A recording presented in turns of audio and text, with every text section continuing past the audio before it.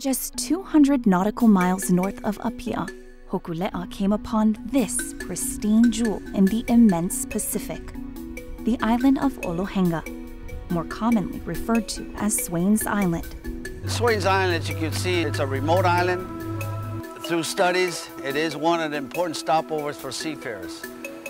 It is the prime example of how a determined people with a deep connection to place have sustained themselves and the island's resources through changing times and industry, and now want to position their home as a model for sustainable living.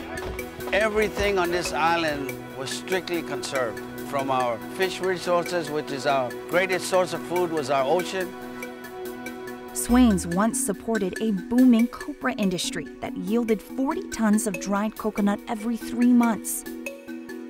To ensure this thriving ecosystem, they planted over 800 acres of kumuniu, or coconut trees, maintaining balance in this precious environment. In the essence of here is what Hawaii should be. That becomes both the reality and the symbol of the things that we hope for in our islands. Swains, the place of this amazing history, the Swains of this place that is, should be a school for the earth. My sense is what's missing in the rest of the world that's in Swains as that there is a deep connection between all of you to a single place on the planet that you call home. Visit hokulea.com and oiwi.tv for more in-depth stories, blogs, pictures, and educational resources.